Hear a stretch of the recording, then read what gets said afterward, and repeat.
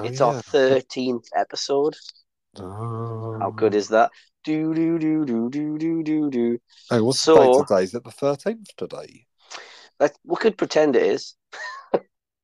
Yeah. Or you could just release this on the thirteenth. yeah, The Yes. thirteenth episode on the thirteenth day. yeah. That's Be like on the Friday seventh- thirteenth. Seventh have to wait. The seventh sun. Yeah. so welcome, welcome. Pod of the thirteenth day. yes. So welcome everybody. I'm Steve, I'm Kevin. and this is Nerds Talk, and it is our thirteenth episode, which we're really proud to do. I actually thought that I would um, that you weren't going to be available, and I was going to have to do a lonesome thirteenth episode. So I'm glad you're here, Kev. Oh no, I've been Um, busy at work. Yeah, yeah. It happens. I keep I, I- I keep saying that you know work should be a secondary thing.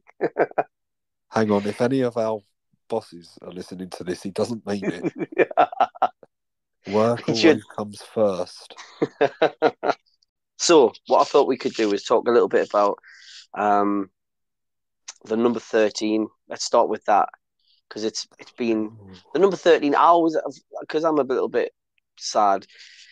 My whole life I've said 13's me my lucky number just because people say it's an unlucky number. So it's always been associated with bad luck and misfortune, and that's across um, um that's across many cultures across the world.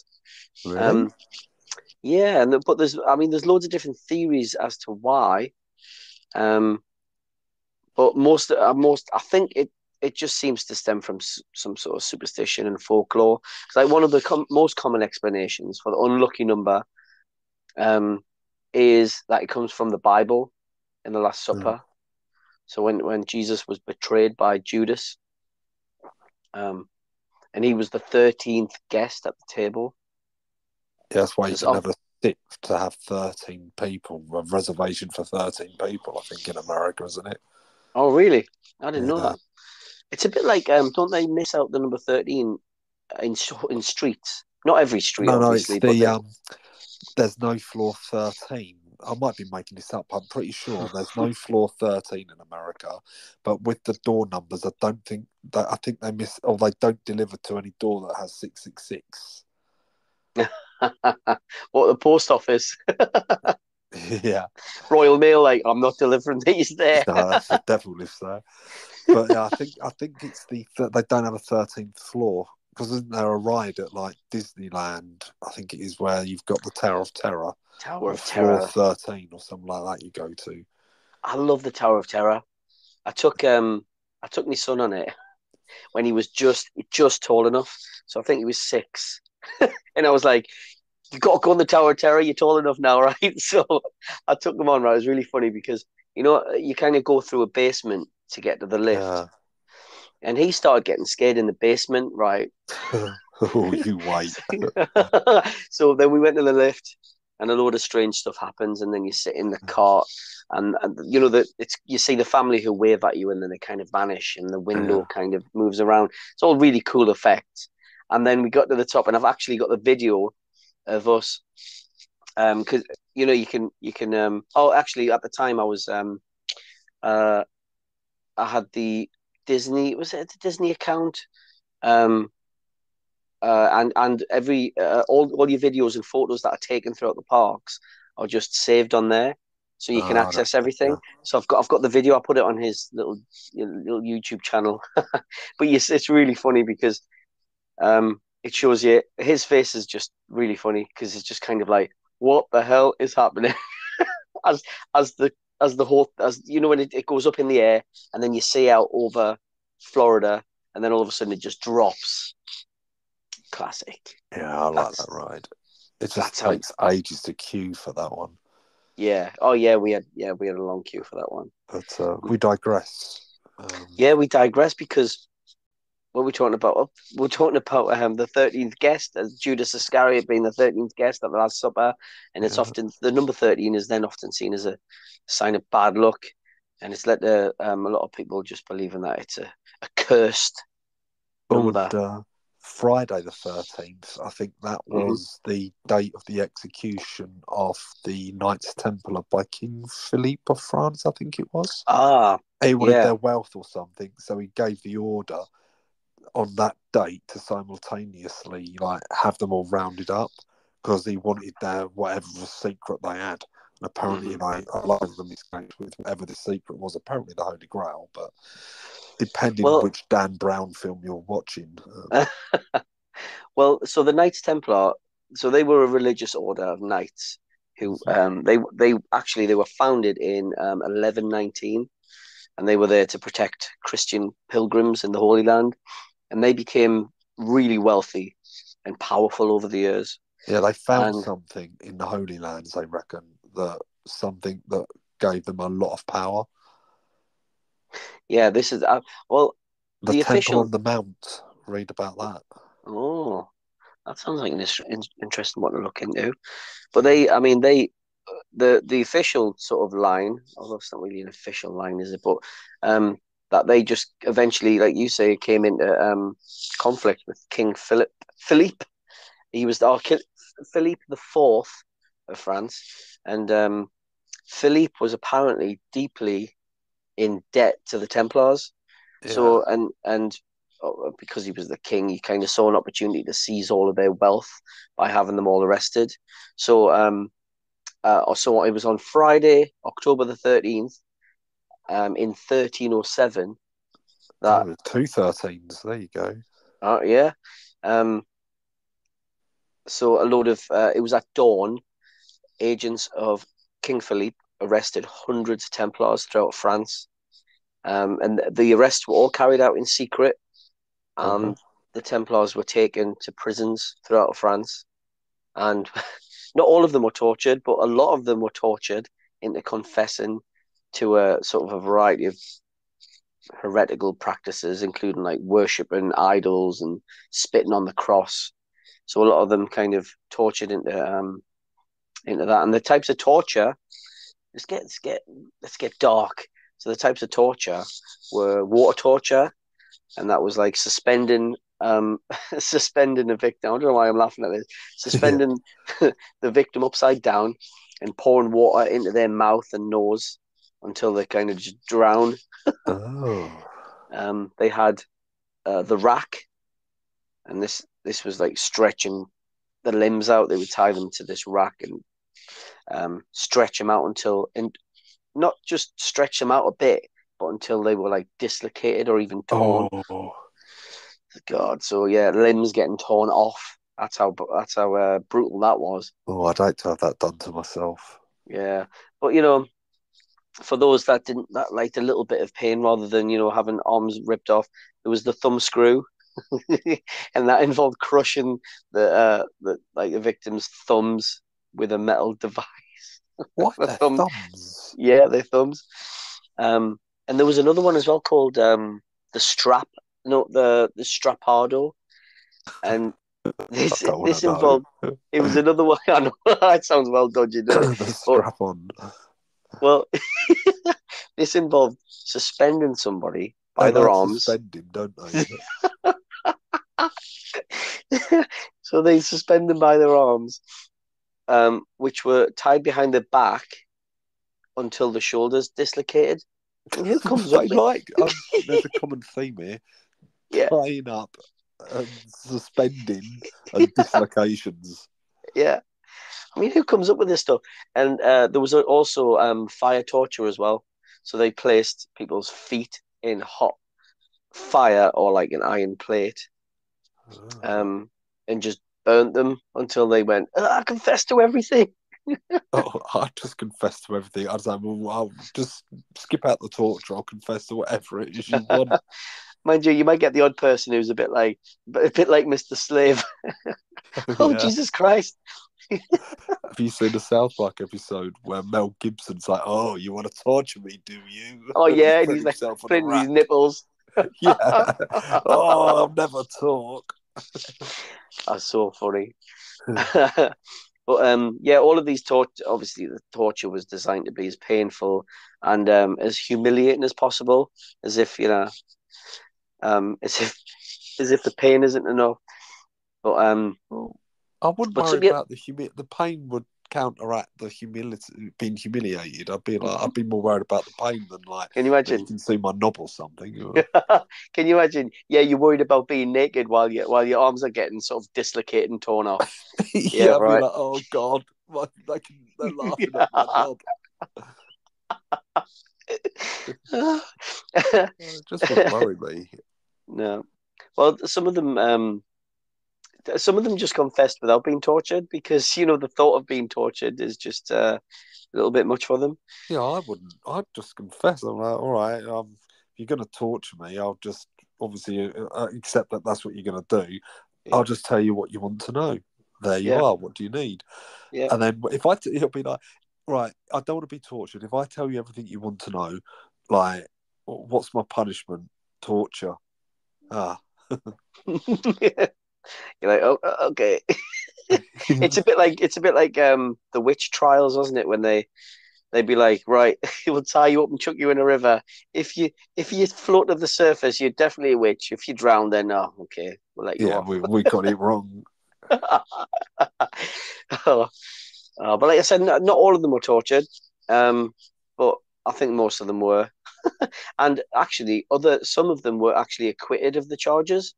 So, um, it, apart, well, apparently, I mean, it sounds like a really dark sort of chapter in history. A reminder of the lengths that people go to when they are motivated by greed and power. Um, you know, to take others' wealth. but um, some say that it's also a reminder of the importance of uh, due process and the right to a fair trial, because you know Uh, none of the Templars were given that. It is interesting as well. You wonder about how accurate is that historical account because you're only going to have one. There's no like loads of news agency can scrutinise it at the time. You've only got one version of that history that would be available. Yeah. Like oh, it's so quaint. Oh, they ah the Friday the thirteenth of the thirteenth century, or and you just think is that they've elaborated that a little bit, or Maybe, don't yeah. Well, it was. I mean, it still took another five years before the whole order of the Templars was just dissolved. So it was in No, they're thirteen still around. They're still around. Yeah. So that. oh, yeah, that could be a. That's That could be it. Illuminati. They're the Illuminati, aren't they? Uh huh.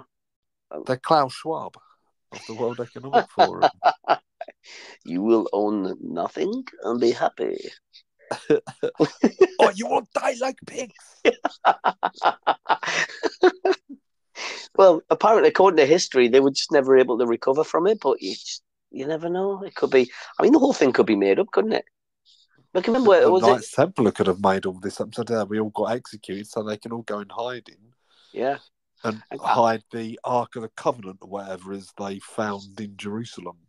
Um, Well, remember, think- if it is the Ark of the Covenant, don't look at it. Close your eyes, or weird spirit ghosts are going to come out and melt your face. I love Yeah. Indiana Jones. Uh, well, just going off on one a little bit. Um, I went to see the Indiana Jones. I told you this last week, didn't I? Oh God, Um, you didn't go and it. watch that, did you?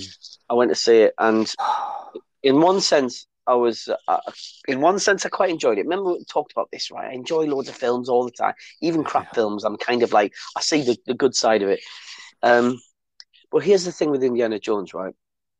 Spoiler alert: the first, the first sort of quarter of it, I think, um, is well, you, you're watching indie um, as That's as what the a reviews have said. Yeah, they said like the de-aged bits are all like an Indiana Jones film.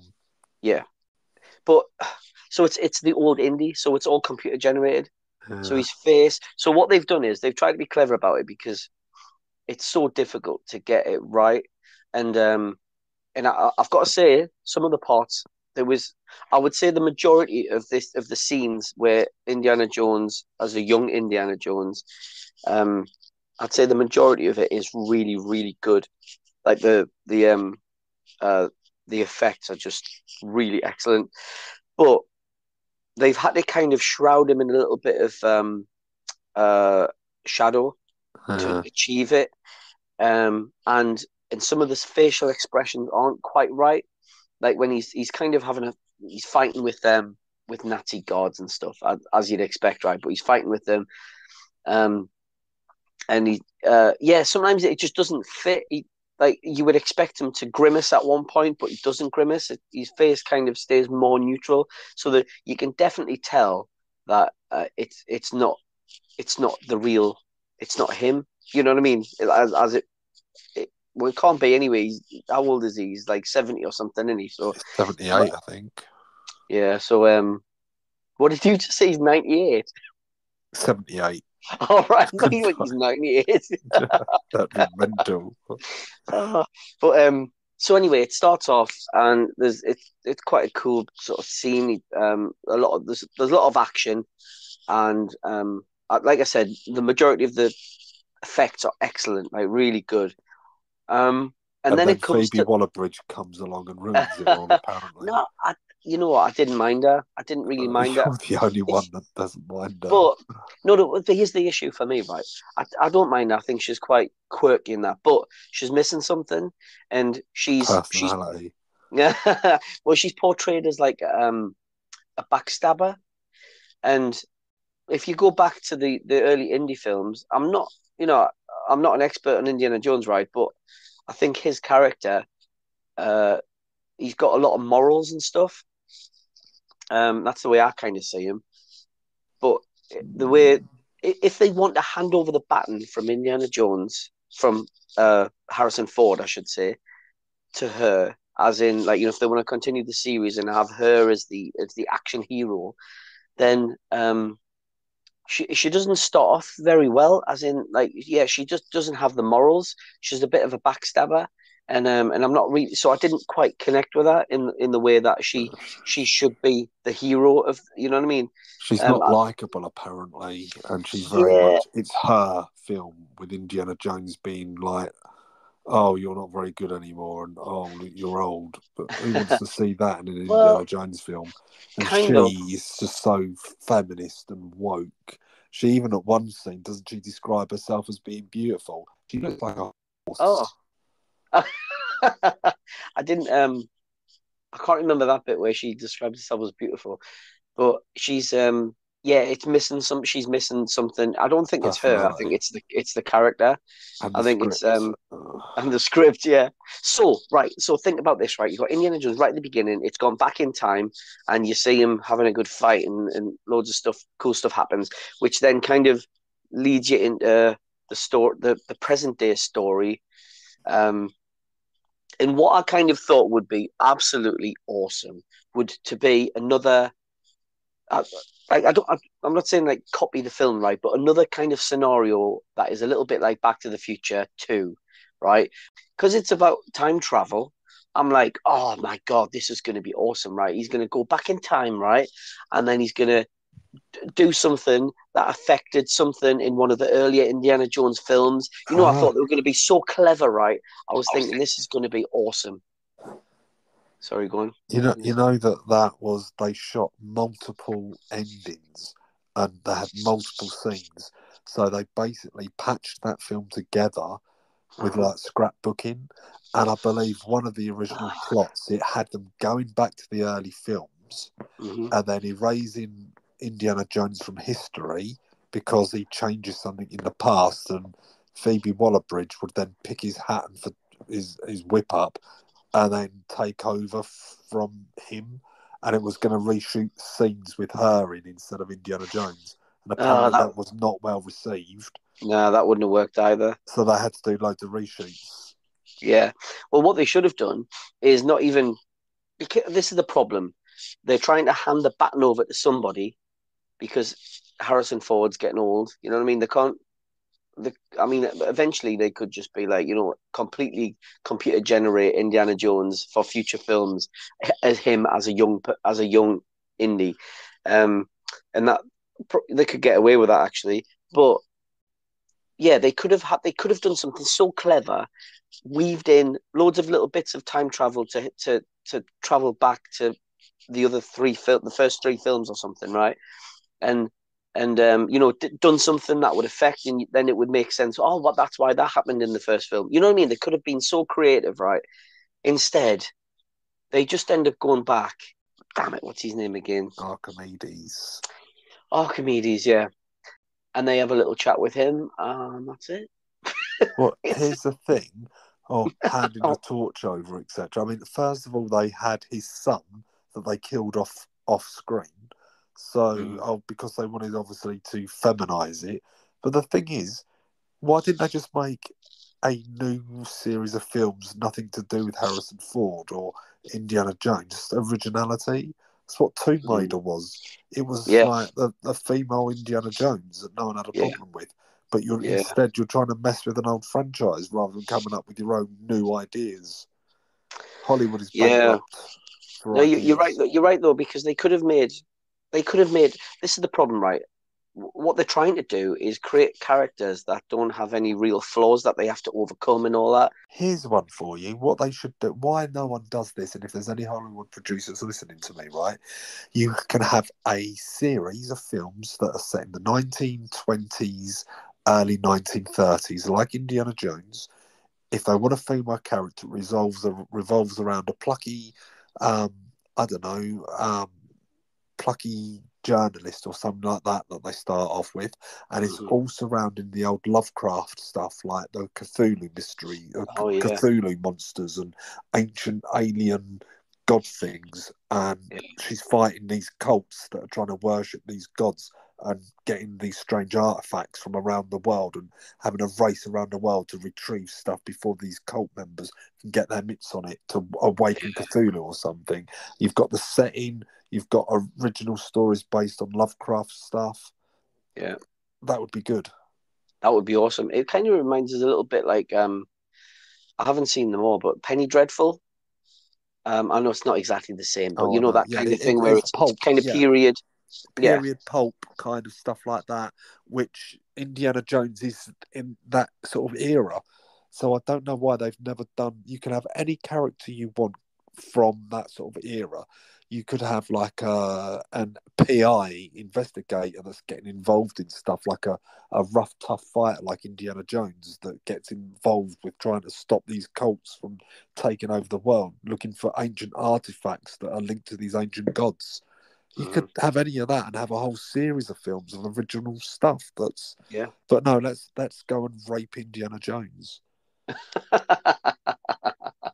South Park reference, love it. Yeah. Ah, but Hang so on two uh, seconds. I've just got to say something to Alexa. Alexa, dining room light fifty percent. Alexa, dining room light fifty percent. you could have got up and Oh, done it not yourself. bloody working. No, I can't because I've got. Hang on, Alexa, dining room light fifty percent. Oh, wrong because I'm in the living room. Alexa, living room light fifty percent. That's better. The thing is, right, so I know I'm digressing, but because I've got like smart bulbs everywhere, they're Yeah. activated all by voice now with Alexa or on the app.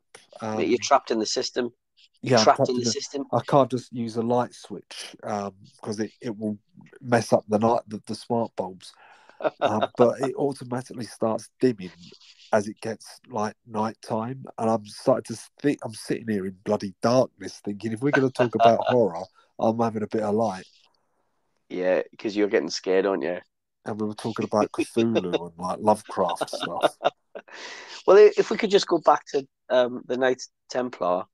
Oh yeah, Um, so the, there are some details. Obviously, that there are some details that are known. We, we've kind of discussed that, but like the the events in 1307 when they were all arrested, it, it's still kind of shrouded in mystery.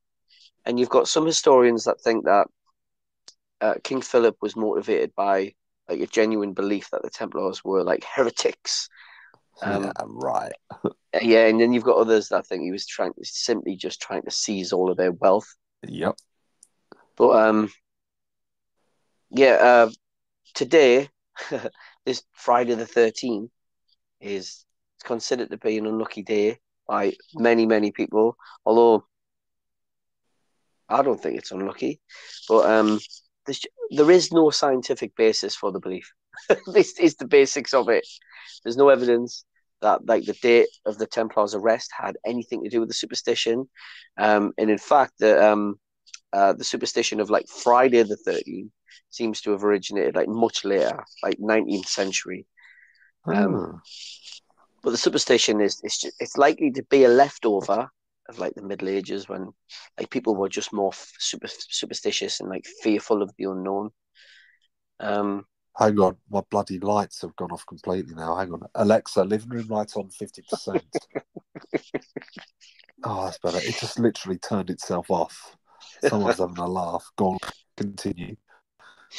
well, I mean that's it really about the the, the number thirteen. So But I thought we basically, Friday the thirteenth is just uh, yeah, it's rubbish.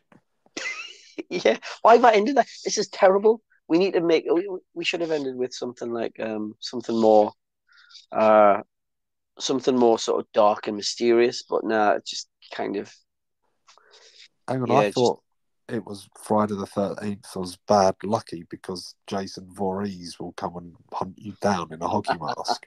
chop you up. yeah.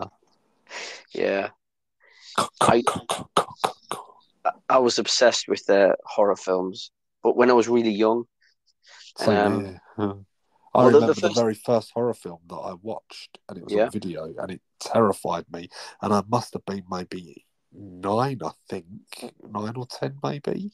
yeah, Uh, me, me and you same Poltergeist. age. Oh, Poltergeist. That was yeah, It's still scary now, you know. yeah, yeah. Freaked me out. Um, Pol- I think there's Poltergeist two. You know that scene when um Oh, the, the guy, the lad, looks in the mirror, and he starts scratching his own face No, that's off. the first one. Is that the first That one? No, was- no. Yeah, Oh, is it? Oh, okay. his face Oh. is pulled and rips apart, and he sees like it's because he's eating a steak, and then he sees there's maggots Yeah. coming out of the steak, and then he spits it out, and then he starts pulling Yeah. his face apart. Yeah, that Ah. terrified me. I was like, Oh, oh, my god. there are some great scenes, uh, just really simple stuff as well. Like when um, this is, I think this is Poltergeist two, because they're, uh, I think they're in a hotel and there's there's a lot of mirrors down one side and they come out of the room. Oh, it's Poltergeist three, and then the the camera kind of pans across and you see that they are just in the mirror. They're not even in in the walking down the corridor. Just great, great scenes like that. That was done using practical effects. All that third film Yeah. as well. There's no like they actually had actor doubles that were walking down right next to them, and there weren't really mirrors. Very Yeah. clever the effects on that film, but it was a really troubled production, and the little girl died shortly after that. I think a lot of them died though. A lot of them died of like health issues. I mean, could have just been a, could have just. Oh, this is me again trying to sort of dumb everything down. Could have just been a coincidence. Well, the um, do you know in Poltergeist two, the old priest guy in it came. And he looked proper scary. He was actually Yeah. dying in real life. I think he had stomach cancer or something, and I think Yeah. it was he died before they finished filming it, which is why he isn't actually in the end of the film, apart from some CGI monster version of him. Oh, wait, you make me want to watch the Poltergeist films again now. Only the first two. The third one's not very good. Um, but Well- was, you know, the, the scariest thing I find in the original Poltergeist. It's the bit where they're like filming the staircase, and they see all these lights coming down the staircase, and the woman's Yeah. going, "They're all the lost souls." Like, oh, Yeah, it was very suspenseful, wasn't it? Like, um, it's still Spielberg film as well, of all things. yeah, I haven't um I haven't seen them for years, but I've got them all on DVD, so that's it. I'm gonna have to watch them all now. But what I'm trying to do at the moment, I'll I'll have to put that on hold because Insidious, The Red Door, brand Oh, new yeah, film, is out at the watch that. cinema. Well, I I need to watch um uh Insidious three again before I go, so I'm gonna watch that probably tomorrow, and then get myself down the cinema as soon as to uh and then I'll give you the verdict because I really I Mm. really like the Insidious films, and it's not just because it's kind of they're really odd on there because they're a bit of a mix of daftness as well. Like you know the two um I've forgotten the names now, but the, the two characters in there who are the uh, paranormal guys. Yeah, They- there's a bit of comedic relief. Yeah, they're just they're just silly, aren't they? And Uh-uh. actually, some some of the scenes in Insidious through the Insidious films aren't that scary, but I think as a whole, the stories, um, I, I like the story. No, what they there's a technique that I think why they're quite oh oh jumpy and all that Mm. because for years you'd watch a horror film and someone would be like standing like in front of the camera and then the camera would be coming up really close to them. You're like, oh my god, he's going to turn around and there's going to be a monster there. And he turns around Yeah. and like, oh, it's just his wife that stood down. Oh, it's a Yeah. fake scare, and then the scare happens after that. yes. Where Yeah. Insidious, it's like it's no, it's actually a scare. So it, it throws you a little bit because you're expecting the fake jump, but it's not. It's the actual monster. It's the actual scare, and I think that's what makes it a bit more. They've kind of like changed your expectations. They know that people expect a fake scare first. It's a formula in horror films. Yeah, did I tell you? Did I, I might have mentioned this in, in a few weeks ago in the podcast, but I was I was watching Insidious, the uh, the first film, and there's a part of it where you see the um uh the demon above the kid as he's lying in bed. Oh, yeah. That scene, right? And when I finished watching the when I finished watching the film, on one on one side of our bed, um, it's- That's kind a of, uh, demon. there's a demon standing there, yeah. But um, uh, we've got an ear, earbuds charger, and it's really annoying because it's got little blinky lights on it, and there was um, these little blinky lights are on the other side of the room, right, which kind of shone across, um, just very dimly, but it kind of shone across the room, um, next to uh, the bedroom door, and I was lying in bed, right, and I kind of looked, and I, I thought I saw a shadow move in right sort of up into the corner behind the door.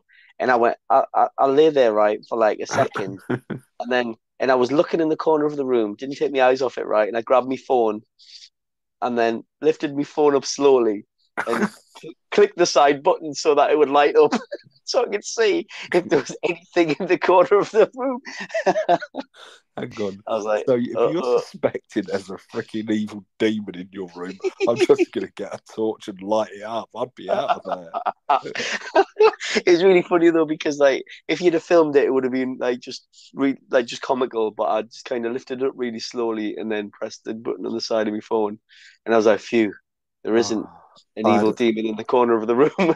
I had a night terror the other night. I don't know if I told you. I'm I'm on my own because uh, wife's at work or night shift or whatever, and um, I remember I was having this dream, and in the dream there was like the demon from The Exorcist that was trying to get inside to possess me, and I'm like in a bed, and I'm like, oh my god, oh my god, and I'm like calling out for help, and I put their hand on my knee, and I'm like, oh thank God someone's come to help, and I've looked up, and the freaking demon from The Exorcist is staring right in my face.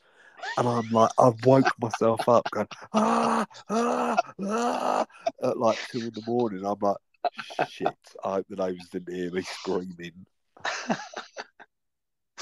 oh, don't you have nightmares anyway?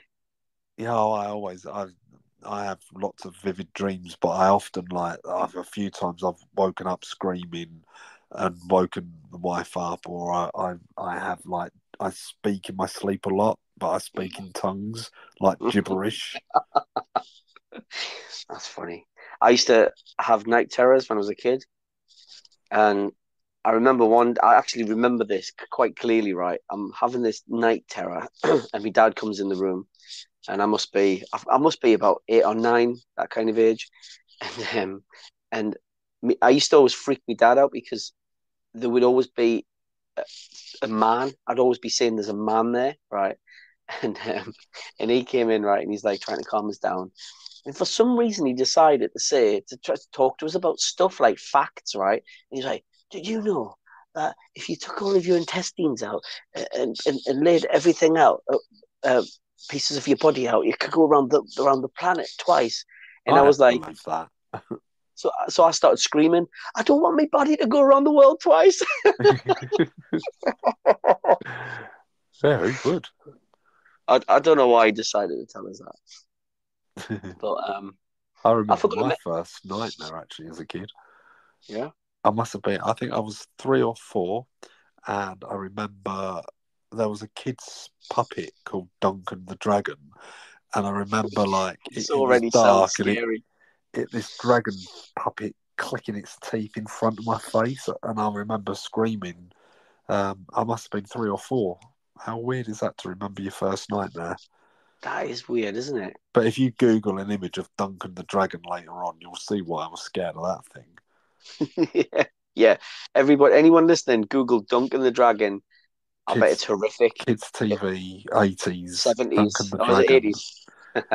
Oh, hang on, no, it would be either could be seventies or uh, nineteen eighty ish around then. Yeah, I'm pretty sure that um seventies was even worse for how they made toys and stuff. Just really scary, like looking. Like if you look back on it now, at the time it would have been just quite normal, really. Oh, what was that? There's an advert, and I thought it was a spoof advert, but it's, it was actually a real, a real advert. It's on YouTube, but I think it's called Laugh a Lot, Baby Laugh a Lot, Yeah, and it's this doll that just rocks backwards and forwards, going, and then all these weird looking kids, all like that. They look like some weird horror film kids. Bit manic in itself, yeah, a, a toy that just laughs at you. And then the narrator is this bloke that's doing this fake laughing along with it, and it's just creepy. You Google it after this or YouTube it. Baby laugh a lot. Oh, baby laugh a lot. That's weird. but then I used to have Jack in the Box as a toy as a kid, and that thing oh, used Oh, yeah. to scare me. A clown would go and come out of the box. oh, Yeah, that's an old school one, isn't it? yeah. The, the ones that you get now are like a lot more child friendly, as in like really sort of not scary at all. You've got like um uh you know the um the caterpillar um Colin the caterpillar, or is that No. a cake? yeah I think that's a cake the the one that the um oh I've forgotten who wrote it now the the book that the caterpillar that turns into that eats through um an apple and a cake and a, all all kinds of stuff before it turns into a, a butterfly you know the kids book you Ah. open it up and it's got loads of holes in it and stuff Uh, I don't at know the pages. But oh, you don't know that one? Oh, that's a classic. It's really good. I think we've probably got about three of the same book in different sizes. Uh, that's because I don't have kids, so I'm not up to date with those sorts of stuff. Yeah, you probably if you saw it, you'd probably remember it from from when you were a kid. Look, anyway, going back to the the, the number thirteen celebration of the thirteenth episode. Um, forgot to mention that as I feel um, like Sesame Street. Today's episode is brought to you by the number 13. yeah, Guys, it's really windy out at the moment. I'm just looking at my, because I'm sat by my garden doors, and there's some big trees out back, and they're just waving back and forth furiously in the wind. It's quite a creepy atmosphere to actually talk about horror. Um, something I forgot to mention was uh, and some other facts about the well, I don't know the fact, but other sort of things about the number thirteen, because there's a possible explanation for the fear of thirteen from Norse mythology, and there's um there's a story about uh, a dinner party attended by twelve gods, and then obviously Oh, Loki. sounds familiar. Well, it does, doesn't it? Yeah, actually, you mentioned this. You mentioned this last week, I think, um, or something similar. But the trickster Loki, uh, who was invited, he he arrived as the thirteenth guest, and he arranged for um, somebody to shoot Balder with a um, a mistletoe tipped arrow, and then Balder died, and um, and then the number thirteen became an unlucky number because of that, because he was the thirteenth guest. So that's so essentially the Last Supper kind of mythology repurposed. Very similar in it. Although I imagine Norse mythology mythology is older. Yeah, yeah, it is. Uh, You know, fact, that's why we have Christmas trees is because of Norse uh, mythology. yeah, Why you have like the tree of it represents the tree of life with the North Star at the top. yeah. I, I tell you what, really if you're if you're interested in Norse mythology, then playing um, Assassin's Creed uh, Valhalla is such a good game. I To do get need into to get into Assassin's Creed games, you know. Well, I, I'm not massively into them, but um, that one really piqued me interest. I mean, I've cl- I've clocked it almost everything. I've clocked almost everything. I've I've completed all of the um all of the missions, everything. except I just have um the last thing I need to do, and this is only just to get the trophies, is is um there are um certain places you can visit and do um uh like uh trial of the bear and tri- trial like those kinds of trials, um and I just need to get a few more gold, um achieve gold with a few of them so that I can get the trophies. But I'm kind of finished with the whole game, which it it gets really disappointing when you get that far um through it. Mm. Um, but it's an interesting game, I, and I love the the effort that they put into all of the stories, and some of the some of the side missions. I mean, if if if all you want to do is um is get through and clock the whole game, finish it all, and um you're not going to appreciate all of the everything else that's going on. Jeez, it's um, I, I've rarely complete games, but I mean, I it took me about twelve years to complete Skyrim, or the, Yeah. at least the main quest in it. There's still stuff I can do in it. Yeah. Well, I Didn't- don't they- completed Ghost of Tsushima the other few months Oh, back. That was you? really good. Yeah, I haven't finished that game yet. Well, I, to be honest, I, to be fair, I haven't really started it. The stories are so great in it, and the character becomes more and more likable the more you play. Really good character development and story development in it. Maybe that you know that's what a lot of films are missing. So I'm Okay. writing a novel. I finished editing my novel, and I was using Pro Writing Aid to do the grammar checks and things. Yeah. Right. And some of the things it highlighted for me says the word crazy. You might want to consider changing that as it could be offensive Oh. to some people. It's doing It- sensitivity writing now. Yeah. It also picked up the word because I'd used like there was an elderly man that stood. Oh, you might want to change the word elderly can be seen as offensive as well. I'm like, what Seriously. elderly. I can't use elderly. And it got worse. It was a scene where they ordered some food and the waiters brought their food. Waiter can be an offensive term. You might want to consider changing this to server. How is What? waiter more offensive than server? I don't know. Oh. That's ridiculous. Anyway, going going back to the theme of the show, the thirteenth episode, where you know talking about sort of um, scary type stuff. Um, I thought we could maybe discuss sort of supernatural creatures. So obviously the first one. Hang on, have you got the D and D monster manual to hand? in front I of no. The first supernatural creature I was thinking is the simple one, ghosts. So you got like you know, yeah, that is a simple one. Yeah. Yeah. but I, I think it's interesting. Um, not a lot of people sort of think about this. I don't think I never did, but um, you've got ghosts and you've got spirits. So ghosts are kind of like recordings in time, um, where you see, you pretty much see something that happened in the past, and Yeah. you're like, oh my god, that was a ghost. Um, a It's a spirit replay. a replay, yeah.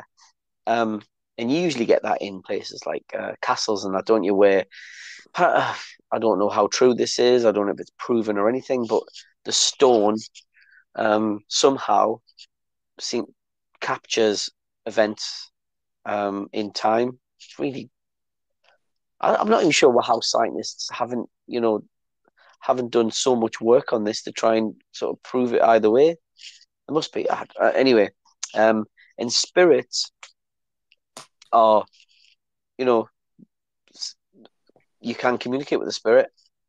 Um, Ouija boards. yes. Oh, Ouija board. I've got a Ouija board. Oh, I want to do one so bad. I'm not allowed people- to, though. I've been told. Don't you? of all the things that you'd ever get, have to have a conversation to warn you about, like, don't you dare do a Ouija board when I'm not home. I've got a cool one. It's it's a round one, and it's got like a tr- it's kind of really cool tree pattern on it, and you, it's got a piece of uh, like a, round plate of glass that goes Do on top. now. I don't know where it is. Probably in the Oh. loft. I haven't had it out for a long time. Go communicate with Captain Howdy I've I've never ever been able to actually communicate with the dead. in one of the first houses that I owned. I had the stair landing, walk out my bedroom, and you'd look down and you'd see the landing, the stairs going down into the front room, and then you'd pass the stairs to go up the toilet. And one day, my girlfriend at the time came running back into the bedroom from the bathroom saying, I've just seen a shadow at the foot of your stairs. And I'm like, yeah, it's, there's nothing there. It's just a trick of the light. It's nothing. And then I, later on, I've got up, went to the toilet, and on the way back, in the corner of my eyes, I saw a shadowy face, a shadowy shape stood at the foot of the stairs, at the bottom of the stairs, looking up. And I've turned around, it's running to the room, and I'm like, shit. And it was exactly the same as what she described it as as well. She said she saw it at the corner of the eye, and when she looked, it's run off, and it did the same for me. I had to take her home, and I've had to go back to that house on my own that night, and I was like, shit, Sure. shit, shit. Are you sure it wasn't a burglar? Just Could have, could have been. but then weird, other weird stuff happened in that house. I had a, I used to have. Do you remember those old cream printers? It was a bubble jet green printer, and I used to have that. It was on like, I, I had a small computer desk. I used to sit on the floor, and then I'd get like boot marks all over that printer, what? and I used to have like cream walls, and I had some posters up, and I took these big po- they're big Star Wars posters actually, and I took them down one day, and there were all these muddy hand handprints all behind it. That was freaky. what? Behind it? Yeah, That is freaky. That's well creepy. and I think the scariest, one of the scarier ones. I, I went out. My mate came round, and then we went out together. Right, I'm obviously the last out, and then we both come back that later that evening, and bloody vacuum cleaner was in the middle of the room, and we're like, well, it was under the stairs originally, and he's like, "See you later," and he left. I'm like, "Oh, "Don't leave me." Oh, that's the same house. Is this... Yeah, same house. Really weird things. Um, and I think the weirdest thing that was a ghost that didn't look like a ghost because it looked real, but we were at, it was Sheppey and we were up like I think it was Eastchurch, and there was this road that went winding uphill past some woods, and then it would turn round a corner and you'd be near like the cliffs and the beach, Mhm. and we were all walking up. There's about ten of us, and we were all walking up this hill, and this old woman wearing like black clothing from head to toe, like a nun. And I remember looking at her, seeing her, uh, seeing heavy boots on her with a skirt, thinking that's really weird. And she's walked past us, looked at us, and walked down the hill. We've sort of gone around the corner. We've said, "Who was that?" So we've gone back round to look for her, and there was no one there, no one there at all. And apparently, there used to be a nunnery up the top of that hill until it, the cliff corroded and it fell into the sea years ago. So that was quite weird. But it didn't Yeah. feel like a ghost because it looked too real. Yeah. Well, a few years ago, I'm saying a few, this is about 15 years ago, right? Um, me and my mate Kev, a different Kev, we went we went down to um what's the village called again? Let me just find it. Um, uh Pluckley. yeah, Pluckley. Yes, yeah, yeah, it was. Yeah, um there you go. How do I know that? Are you sure it wasn't me? no yeah, me and you, yeah. It was um so it, it in Pluckley they've got um uh they've got it's supposed to be the most haunted village in the UK, isn't it? Yeah. And they've they've got woods there. They call I think they call it the Screaming Woods. Screaming. Woods. Yep. Screaming I've camped there. Yes. So um, so me and Kev went down there, right? Um, uh, it was it was just a ghost hunting night. Was like bored. Like let's go and let's go Yeah, ghost hunting. Be- Oh, this this is a cool coincidence then. So let's see if you experience anything, right? So we got there, right, and there's a little pub. Um, I'm pretty sure The it was Black Horse. was it the Black Horse? I you think see your been, yeah. your memory is much better than mine. No, I've been there fairly recently. It's a nice little Ah. village. Yeah. Um, yeah, it was lovely. Like the atmosphere is just really nice down there. And so we went, um, sat in the pub until um, closing time. And we went out, and there's, um, uh, you know, you got a little graveyard. I'm pretty sure that was like next door to the pub, actually. It was next door to the pub, yeah. So we're we're there, right? It's about maybe like half 12, one o'clock in the morning, and um, and like I said, the atmosphere is just a nice. It's it's just a nice atmosphere. There's nothing actually scary about the place, um, and so the plan was to just hang out in the village for a little bit, right? Not look too too dodgy, so we end up, so the police end up uh, uh, coming to see us. But um, hanging around. We went in the graveyard and everything. Took some pictures, um, and then uh, there was a guy came along walking his dog, and um, he we, we had a chat with him. He's a really nice guy. He said, "Oh yeah, people come down here all the time, um, uh, sort of ghost hunting and stuff." But I, even then, I was kind of so imagine it's really dark, and you've got this guy who's walking his dog, and um, we're talking to him, so we're interacting with the guy, but he was wearing some odd clothes, um, really old fashioned. The only the way, way I can describe it was kind of like as if he was a fisherman, right? Mhm. Um, he had like sort of big, sort of longer boots on, and his whole clothing was just a little bit odd. Anyway, he's an old guy, so you know that didn't really think much of it then. Um, and then we said goodbye to him, and then he walked off, and I was like, he was wearing some strange clothes, like Mhm. not not your typical, not normal clothes. Anyway, not for this period of time. Anyway, um, and then, uh, but a really nice guy. And then we went off into the woods, um, and it was absolutely pitch black, proper dark. so it was quite cool. So we were in there taking pictures and stuff, and we were there until about four in the morning. Um, the strangest thing, like we heard, you could hear a stream off in the distance somewhere, and there was a lot of cracking and um, around. Uh, you know, you could hear your general kind of sounds that you would expect in the woods, actually. Um, we didn't hear any screaming, but apparently that is foxes anyway, because foxes do sort of scream a little bit.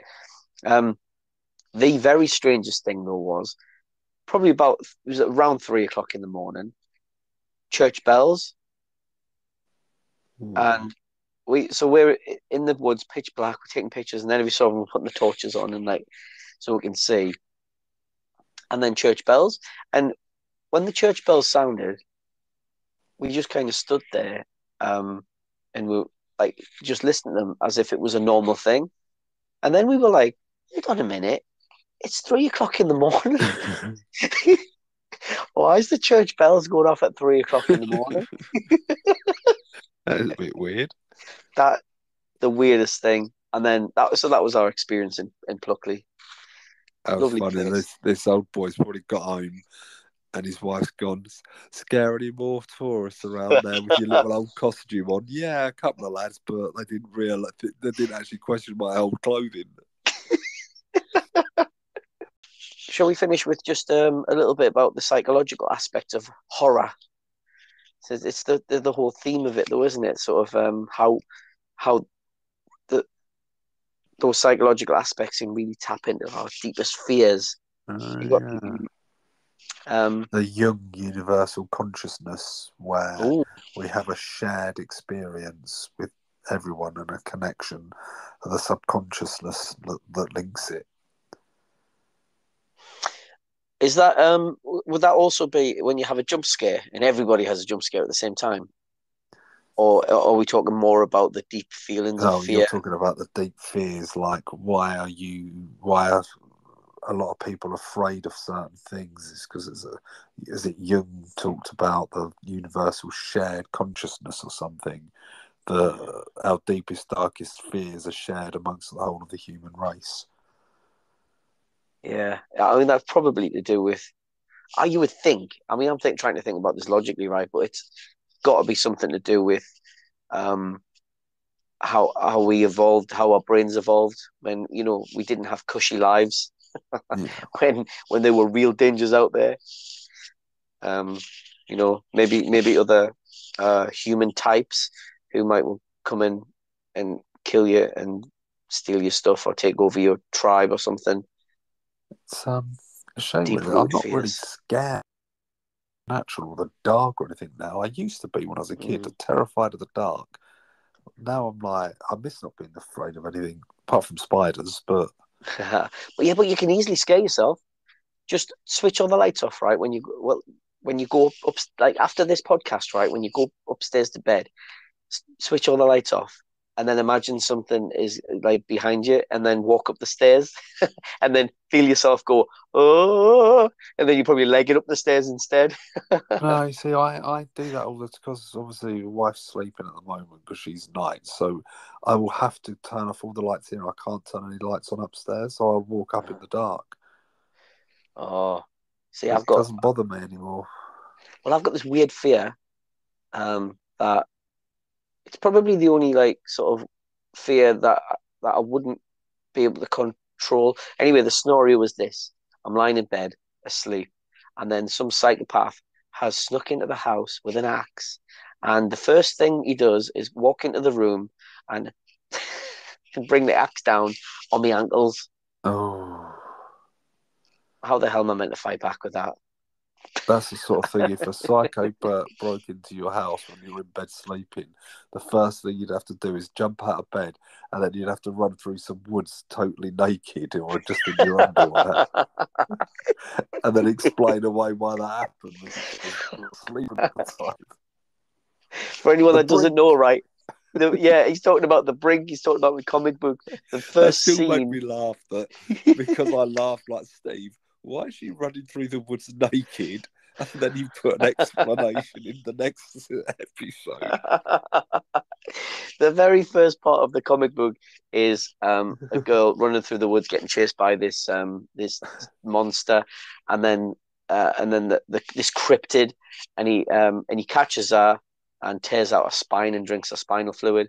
And um, why is she half naked in this? Well, you could have a hook, Why Kev. is You could have a hook. naked, Steve. Chased from a bed in the middle of the night. I had to explain this later on in the comic book just to satisfy Kev. Well, let's face it. You just thought it was a cool visual. Yeah, I did. Yeah, I was like, she's got to be, she's got to be half naked. I mean, why, why wouldn't, why would she be fully clothed, getting chased through the woods in the middle of the night?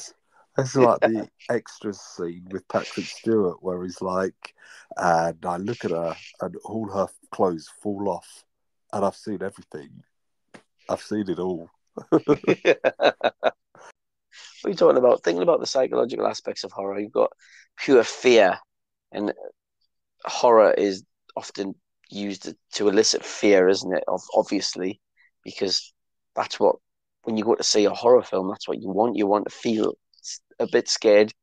Um, but you know, it can be done in different ways. Actually, it can be done but through suspense, um, or or through just sheer violence, gore.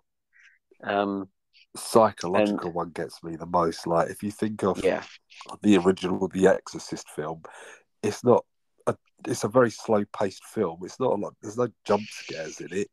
It just messes with your head, I think.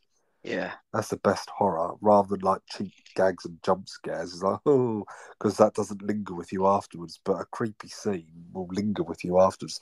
Like I always find one of the most disturbing horror films that I've watched of modern times would be um, Sinister. yes.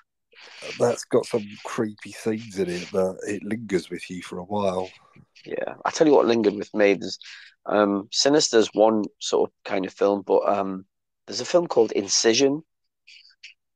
And- it. It's it's really disturbing. It's um, it's kind of on par with if if, if you like if you like films where you end and you just don't know how you feel about it, then these are the kinds of films you got like films like Antichrist. Um, oh, I can't think of any any more at the top of my head, but Antichrist, another one where you're like, what the hell just happened? Mm. Um, yeah, unsettling. In fact, the uncanny, that is a term used to describe things like that, actually. Strange, unsettling. Uh, another powerful tool used in horror, and it just create a sense of unease and a I'll sort of dread. What we should do to create a real sense of unease for one of these podcasts. We should do podcasts live from Pluckley at night. Oh, that would be awesome, wouldn't it? Yeah, Yes. reporting to you live from Pluckley in the graveyard near Screaming Woods. Yes. Let us know in the comments any way you can if you want us to do that. And Yeah, we'll make it do an overnight vigil. Oh, there was something I wanted to mention actually. Um, it's about the shadow. The, the shadow, in terms of like um, something that refers to like the dark side of our personality, and it's a they say it's a, um, a, a Jungian concept, and they say that's because there's a it's something that was talked about by a Swiss um, psychologist called Carl Jung. You know, like Mm. um, Young. Jung, Jung, Jung. It's J U N G. Could be Young. no, Could it's be Jung. pronounced that way. Is it Young? Jungian, yeah. Ah, That's a shared universal consciousness. Is oh, that's what Jung talks about. Well, it's a part of us that we always sort of usually we repress or we deny it, and um, and it's the kind of thing that comes out in in horror um, because it it it's used to explore the shadow, the dark side of our personality, and it The can dark kind of side of Yes. the force. kill them all, and it can um Do Uh, it. It can make us like confront the our own dark thoughts and desires. I thought that was quite interesting. A horror film will reflect us right back at us. Yeah, a lot of people like to think that they're um that they you know they don't have dark thoughts or anything, but I think everybody does at some part in their life. Yep. Apart from me, I'm angelic.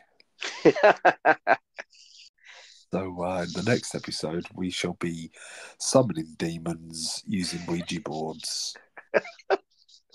Tune in for next podcast where get we loads of- will be communicating with Beelzebub, the the Dark Lord, Can you imagine live? Voldemort.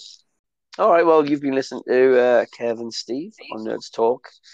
Subscribe to our podcast on Apple, Spotify, Audible, Overcast, YouTube, Rumble. Um, you can find my stuff on at stevensweeney.co.uk and check out my comic book at brinkcasefiles.com. And there's a naked woman running through the woods at the start of episode one. And if that doesn't give you enough excuse to go out and read it, nothing will. Read, they're going to look at it. yeah, true. it's all about visuals. yeah.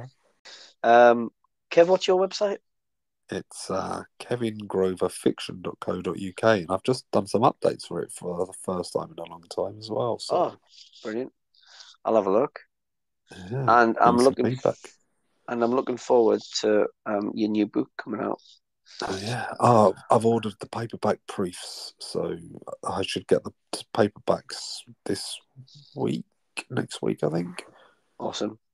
All right then. Well, until next time. See you later. Stay scared. Bye bye.